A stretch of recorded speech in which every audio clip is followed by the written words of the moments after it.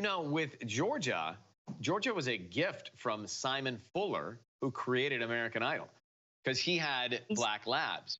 And I was always over there. And I was not a dog person. I'd never had a dog of my own. Then I decided to get Georgia, but it was only because I was at Simon Fuller's house watching, I don't know, probably watching a rerun of American Idol. And he kind of looked at me playing with the dogs with that weird look like, oh, you're going to be a dad one day. You know, that kind of look. And I thought Yeah. maybe he thinks I'm going to have kids one day.